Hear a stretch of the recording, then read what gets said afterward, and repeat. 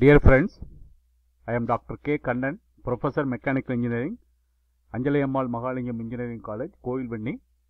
I am happy to meet you again in the video lecture on the solution and discussion on the GATE question papers in mechanical engineering.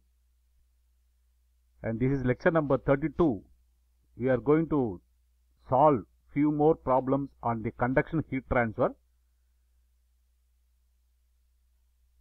The first question from 1996 question paper.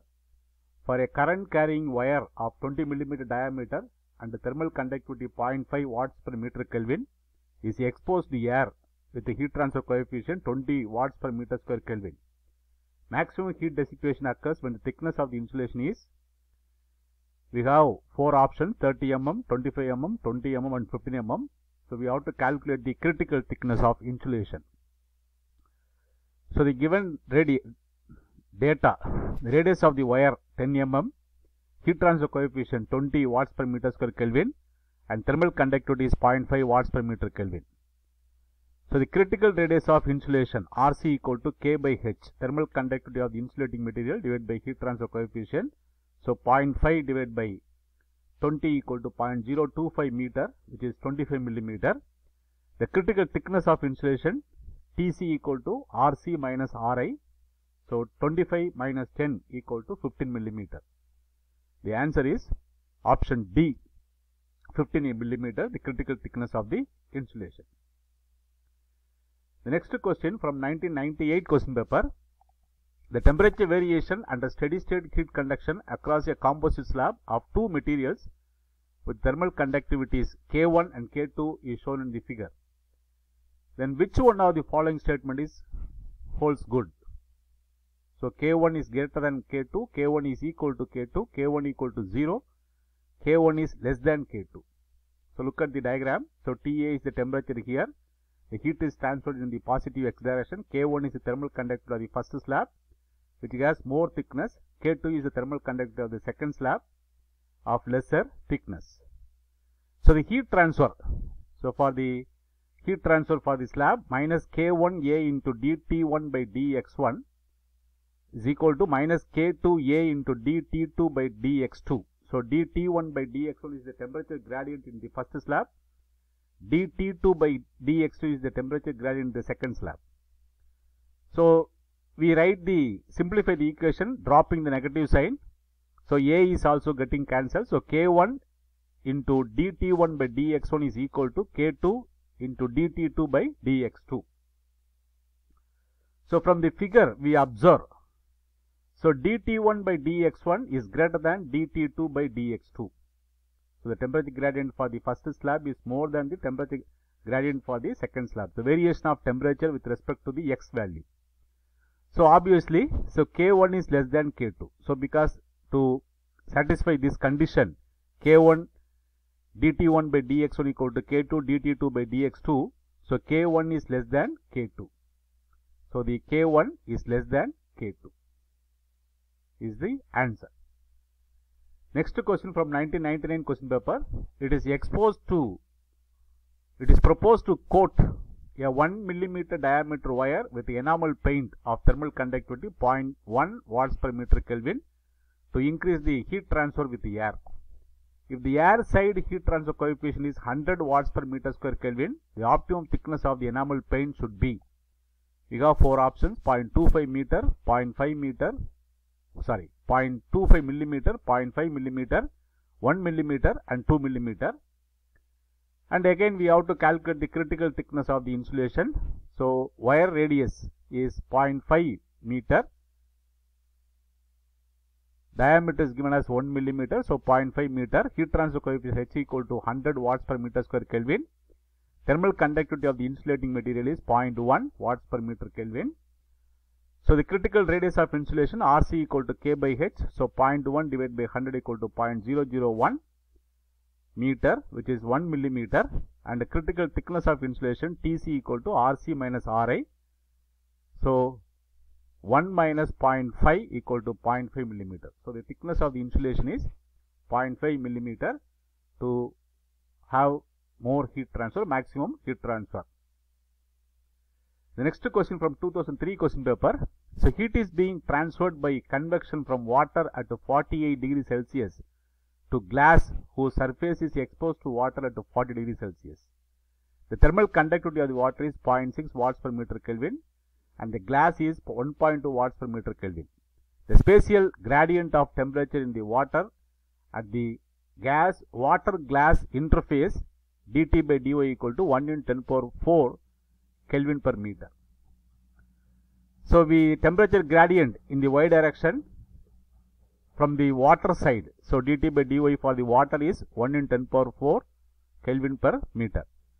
So, the thermal conductivity of the water is 0.6 watts per meter Kelvin and dt by dy for water is 1 in 10 power 4 Kelvin per meter and here thermal conductivity of the glass is 1.2 watts per meter Kelvin.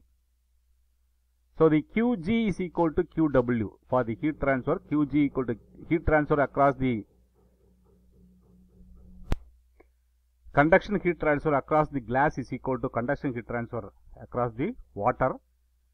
So, minus Kg A into dou by dt by dy for glass is equal to minus Kw A into dt by dy for water. Now, dt by dy for the glass. So, A is getting cancelled. So, mi minus sign negative sign is also getting cancelled. So, dt by dy for the glass equal to Kw by Kg into dt by dy for water. So, substituting 0.6 divided by 1.2 into 1 in 10 power 4 equal to 0.5 in 10 power, 10 power 4 Kelvin per meter. That is the temperature gradient across the glass. Now, the first question. So, there are two questions in the statement. First question, the value of temperature gradient in the glass at, uh, at the water glass interface in Kelvin per meter is, we have four options. So, we have calculated 0.5 into 10 power 4 Kelvin per meter. That is the correct answer, option C. And we have another question. So, the heat transfer coefficient in watts per meter square Kelvin is, we have four options here again, 0, 4.8, 6 and 750. So, we calculate the heat transfer coefficient from the equating, from equating the convection heat transfer equal to conduction heat transfer for water. HA into delta T equal to minus KWA into dt by dy to, uh, for water. So, this minus, actually from here we calculate the H value, A is getting cancelled. So, H value equal to 0.6 into 1 into 10 power 4 divided by 48 minus 40. So, the delta T is the water temperature to glass temperature. Now, it is changed. Water temperature to glass temperature is 750 watts per meter square Kelvin. So, the answer is 750 watts per meter, meter square Kelvin. The heat transfer coefficient. The next question from 2007 question paper. Consider steady one dimensional heat flow in a plate of 20 millimeter thickness with uniform heat generation 80 megawatts per meter cube. The left and right faces are kept at a constant temperature of 160 degrees Celsius and 120 degrees Celsius respectively. The plate has a constant thermal conductivity of 200 watts per meter Kelvin. The location of maximum temperature within the plate from the left face, we have four options 15 mm, 10 mm, 5 mm and 0 mm. The answer is 5 mm. The maximum temperature within the plate in degrees Celsius is, so we have 160, 165, 175, 250. The correct answer is 165 degrees Celsius. So, we will see how. So, the answers are the maximum temperature occurs at the 5 millimeter and the maximum temperature is 165 degree Celsius. So, we will see how in the next slide. So, this is the temperature distribution for a slab with the internal heat, one dimensional steady state heat transfer with the internal heat generation. So, your thickness of the plate is 0.02 millimeter. The heat generation is 80 megawatts per meter cube. Thermal conductivity is 200 watts per meter Kelvin. And left side temperature is 160 degree Celsius and right side temperature is 120 degree Celsius. Now, the location of maximum temperature within the plate from the left face. We have to calculate the x value where the temperature is maximum. So, this is the governing equation Those d square t by dx square plus q dot by k equal to 0. So, d square t by dx square equal to minus q dot by k. So, integrating this equation it will be dt by dx equal to minus q dot by k into x plus there will be a constant. So the constant is calculated using the boundary conditions. So TW2 minus TW1 divided by L. And you substitute. So that for maximum temperature dt by dx equal to 0. So 0 left hand side. So minus q dot by k x plus TW2 minus TW1 divided by L. So x value, we have to calculate the x value. x value equal to TW2 minus TW1 divided by L into k by q dot. So substituting all the numerical values 160 minus 120 divided by L equal to 0.02 into K equal to 200 divided by Q dot heat generation 80 megawatt 80 into 10 to the power 6. So the X value is 0.005 meter or 5 millimeter from the left side. So that is the this is where the maximum temperature occurs which is 5 millimeter from the left side. The maximum temperature. So this is the temperature distribution equation for a slab with two different temperatures on two sides. So Q dot L square by 8K into 1 minus 2x by L whole square plus TW2 minus TW1 x by L plus TW1 plus TW2 divided by 2. So substitute all the numerical values. So x here is 0.005. So 80 into 10 power 6 into 0.02 square divided by 8 into 200. 1 minus 2 into 0.005 divided by 0.02 whole square 160 minus 120 into 0.005 divided by 0.02 plus 160 plus 120 divided by 2. So calculating the first part is 15, second part is 10 and third part is 140. The temperature is 165 degree Celsius. So this is the maximum temperature in the slab. The next question from 2004 question paper, a stainless steel tube of thermal conductivity 19 watts per meter Kelvin of a 2 centimeter internal diameter and 5 centimeter outer diameter is insulated with a 3 centimeter thick asbestos of thermal conductivity 0.2 watts per meter Kelvin. If the temperature difference between the innermost and the outermost surfaces are 600 degrees Celsius, the heat transfer rate per unit length is, we have 4 options, 0.94 watts per meter, 9.44 watts per meter, 944.72 watts per meter, 9447.21 watts per meter, the correct answer is 944.72 watts per meter. So we have to calculate the heat transfer for the composite cylindrical arrangement. So we will see how the answer is 944.72 watts per meter in the next slide. So this is the composite cylinder. So we have two resistances by the two different material and the given data. So the Stainless steel 19 watts per meter Kelvin thermal conductivity R1 equal to 0.01 meter, R2 equal to 0.025 meter, R3 equal to 0.055 meter. Ka asbestos insulation thermal conductivity is 0.2 watts per meter Kelvin and temperature difference is 600 degrees Celsius and the heat transfer equation. So the T1 minus T2 extreme temperature difference divided by resistance due to the stainless steel and resistance due to the asbestos. So substituting numerical values, numerator is 600, 1 by 2 pi into 19 into 1 per meter length we have to calculate. So into logarithmic of 0.025 divided by 0.01 plus 1 by 2 pi into 0.2 into 1 into logarithmic of 0.055 divided by 0.025. So calculating the resistances, the first resistance is 0.007679 and the second resistance is 0.627. So the heat transfer per meter length is 944.23 and the closest answer is 944.7 watts per meter. So this is the correct answer, the heat transfer. Next question from 2005 question paper. Heat flow through a composite slab as shown below. So this is the composite slab with the parallel resistances. The dimensions are given. The depth of the slab is 1 meter. So the depth is measured perpendicular to the screen. So the thermal conductivity value are in watts per meter Kelvin. The overall resistance in Kelvin per watt is 17.2, 21.9, 28.6 and 39.2. So read the dimensions. So thermal first slab of thickness, first slab of thickness 0.5 meter with thermal conductivity 0.02. Second we have composite parallel resistance. So the top value thermal conductivity is 0.1 watts per meter Kelvin and the bottom is 0.04 and thickness is 0.25 the height of this portion is 0.5 meter and the height total height is 1 meter. Now the answer is 28.6. the overall thermal resistance is 28.6. So, we will see how in the next slide. So, this is the configuration. So, this is uh, consider slab 1, this is slab 2 and slab 3 and this is the corresponding thermal resistance. So, we have A1 area of the first slab. So, area normal to the heat transfer. So, the height is 1 meter, depth is also 1 meter. So, that is 1 meter square.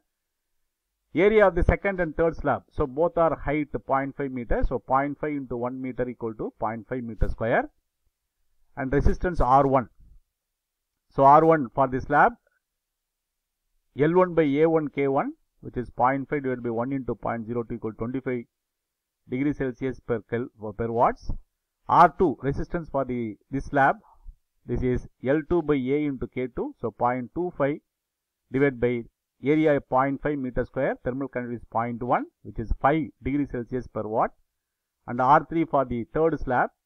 L3 by A3 into K3 which is equal to 0.25 divided by 0.5 into 0.04 equal to 12.5 degree Celsius per watts. So, the equivalent resistance are equivalent because of the parallel resistance R1 plus the equivalence of these two value R2 R3 divided by R2 plus R3. So, this equation you have to remember to calculate the when we have two parallel resistances R1 R2 R3 divided by R2 plus R3 this is the equivalent resistance.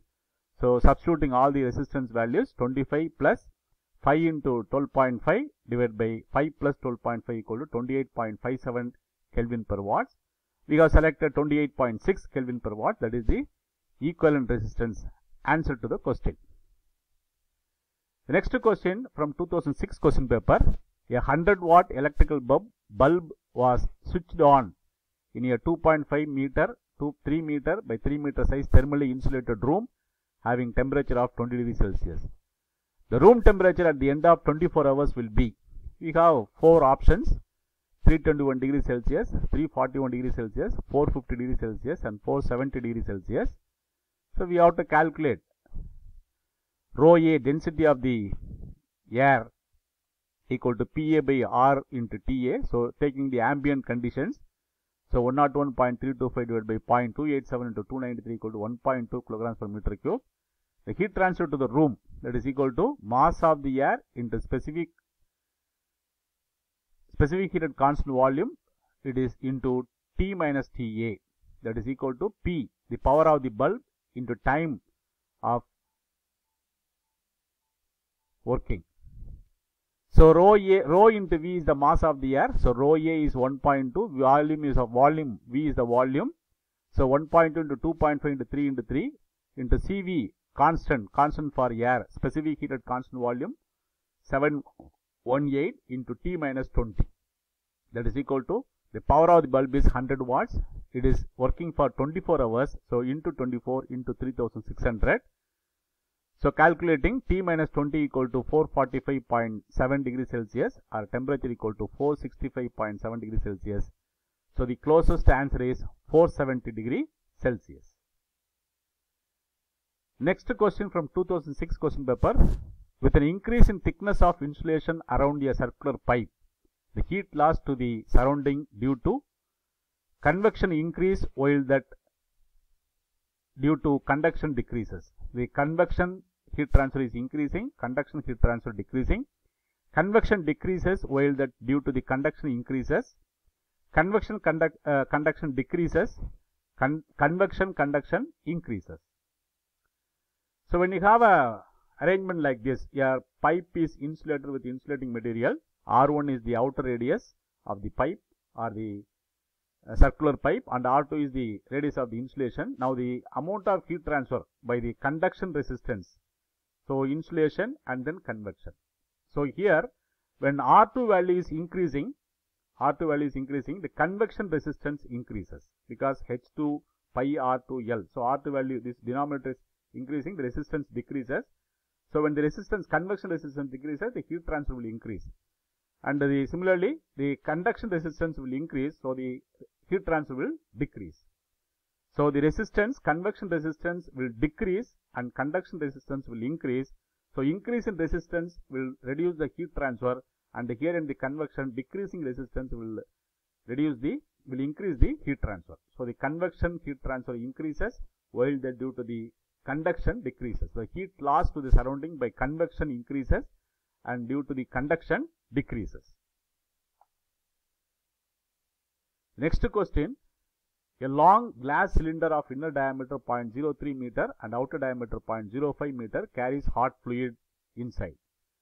If the thermal conductivity of the glass is 1.05 watts per meter Kelvin, thermal resistance in Kelvin per watt per unit, per unit length of the cylinder is, we have four options 0.031, 0.077, 0.17, 0.34. So this is from 2007 question paper. And uh, the given data R1 equal to 0.015 meter, R2 equal to 0.025 meter and the K thermal conductivity of the insulating material is 1.05 watts per meter Kelvin and thermal resistance for the cylinder. So R equal to 1 by 2 pi KL into logarithmic of R2 by R1. So substituting numerical values 1 by 2 pi into 1.05 into 1 into logarithmic of 0.025 divided by 0.015 equal to 0.0774 Kelvin per watts. So the resistance for the cylindrical system is 0.077 Kelvin per watt. That is the correct answer. Option B. The next question from 2007 question paper. A building has to be maintained at 25 degrees Celsius dry bulb temperature and 14.5 degrees Celsius wet bulb temperature. The dew point temperature under these conditions are uh, is 10.17 degrees Celsius. The outside temperature is minus 23 degrees Celsius and the internal external surface heat transfer coefficients are 8 watts per meter square Kelvin and 23 watts per meter square Kelvin respectively. If the building wall has a thermal conductivity of 1.2 watts per meter Kelvin, the minimum thickness of the wall in meter required to prevent the condensation. So here the wet bulb temperature nothing to do. So it is only measure of the humidity. So wet bulb temperature is not required for our heat transfer calculation.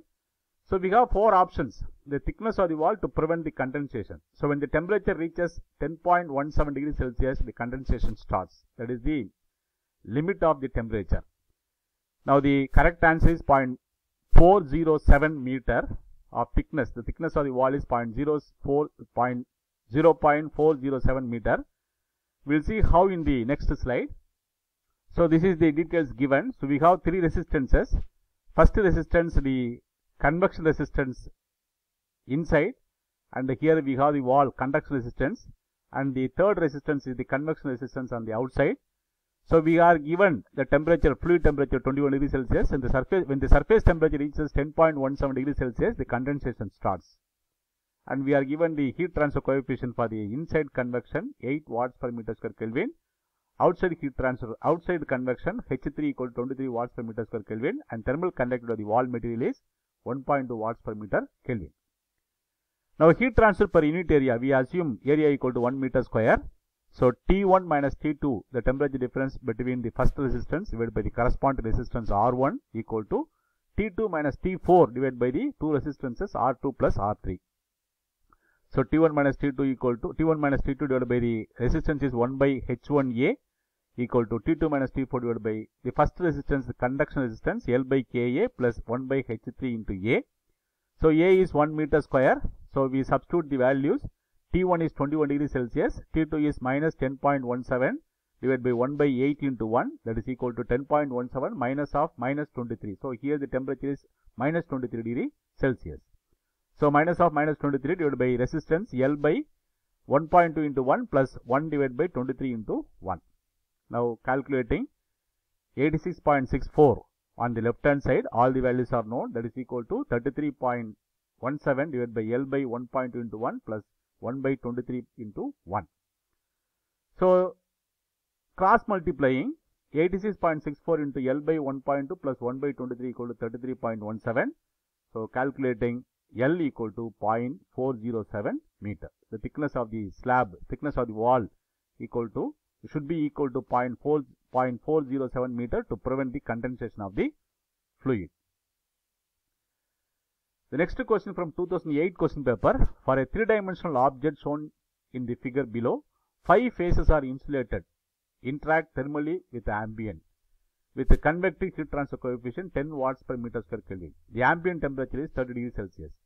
Heat is uniformly generated inside the object at a rate of 100 watts per meter cube. Assuming the phase PQRS to be uniform temperature, its steady state temperature is, you have four options, 10 degree Celsius, 20 degree Celsius, 30 degree Celsius and 40 degree Celsius. So, we have six phases. So, given condition is five phases are insulated. There is no heat transfer from the five phases.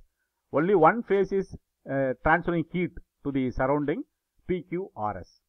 So, the one phase is uh, heat transfer, transferring the heat. So, this is, this is one dimensional heat transfer. Though the object is three dimensional, five surfaces are insulated. So, the heat is transferred in only in one dimension. So, the amount of heat conducted to the surface PQRS that is equal to amount of heat convected to the ambient that is the condition. The heat conducted to the surface PQRS equal to heat convected to the atmosphere from the surface. So, amount of heat conducted to the surface equal to the amount of heat generated into volume of the element. That is equal to amount of heat convected to the atmosphere equal to HA into Ts minus Ts. Ts is the surface temperature, Ta is the ambient temperature, A is the surface area. So, look at the object, the volume of the object is 2 meter, 1 meter and 2 meter. So, volume is 2 into 1 into 1. Amount of heat generated is 100 watts per meter cube. So, 100 into 2 into 1 into 1 that is the amount of heat conducted to the surface PQRS that is equal to H equal to 10. The surface area PQRS. So, PQRS surface area, the vertical height is 2 meter and the width is 2 meter. So, the surface area equal to 2 into 2 into Ts minus 30. So, calculating left hand side 400. So, 40 into Ts minus 30. So, the surface temperature is 40 degree Celsius. So, the answer is 40 degree Celsius. The next question from 2008 question paper. Steady two-dimensional heat conduction takes place in the body shown in the figure below. The normal temperature gradient over the surface P and Q can be considered to be uniform. The normal temperature gradient considered to be uniform. The temperature gradient dou T by dou X at the surface Q is equal to 10 Kelvin per meter. So, at the surface Q, dou T by dou X equal to 10 Kelvin per meter. Surface P and Q are maintained at a constant temperature as shown in the figure. So, surface Q is at 0 degree Celsius, surface P is at 100 degree Celsius. While the remaining part of the boundary is insulated, the body has a constant thermal conductivity of 0.1 watts per meter Kelvin. The value of dou T by dou X and dou T by dou Y at the surface P are. So, we have to calculate at the surface P dou T by dou X and dou T by dou Y. We are given four options here. So, the correct answer is option D. So, dou T by dou X equal to 0 Kelvin per meter and dou T by dou Y equal to 20 Kelvin per meter. So, we will see how in the next slide. So, this is the arrangement given. So, at the point Q, we are given dou T by dou X equal to 10 Kelvin per meter and dou T by dou Y equal to 0 due to the X direction. So, dou T by dou Y at the Q equal to 0. Similarly, for P, dou T by dou X equal to 0. So, for the surface P, dou T by dou X equal to 0 and dou T by dou Y equal to 10 into 20 equal to 20 Kelvin per meter. This is the answer. So, dou T by dou X equal to 0, dou T by dou Y equal to 20 Kelvin per meter. So, we stop here. So, these are all the books I have published in the mechanical engineering subject and I have a YouTube channel where I upload the video lectures for all the subjects mentioned here and the solution for GATE question paper is also uploaded in the YouTube channel. You subscribe the channel for your better learning and uh, pass in the gate examination. So, thank you for watching. Please post your comments on the comments box in the YouTube video. So, you can contact me through my mail ID or WhatsApp number for any clarification on the subject. So, we will meet again with another video lecture on the conduction heat transfer.